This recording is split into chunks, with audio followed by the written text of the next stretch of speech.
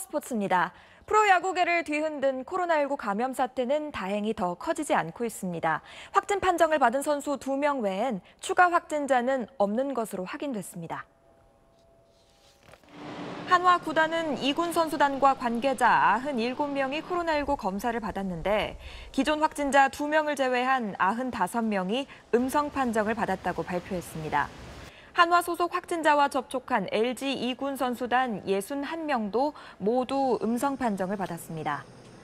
그래도 KBO는 밀접 접촉자는 자가 격리를 하고 퓨처스리그 북부리그 경기도 6일까지 중단하기로 했습니다.